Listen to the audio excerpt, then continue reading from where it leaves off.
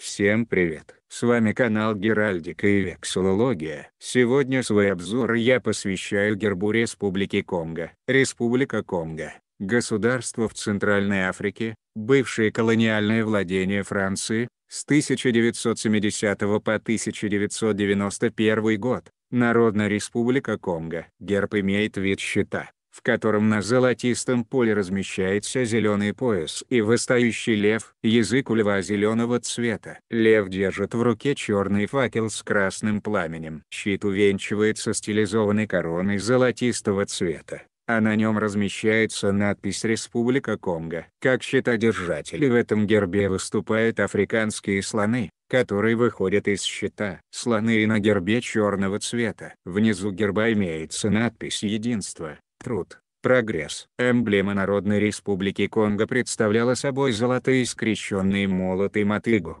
находящиеся между основаниями двух зеленых пальмовых ветвей, дугообразно идущих вверх.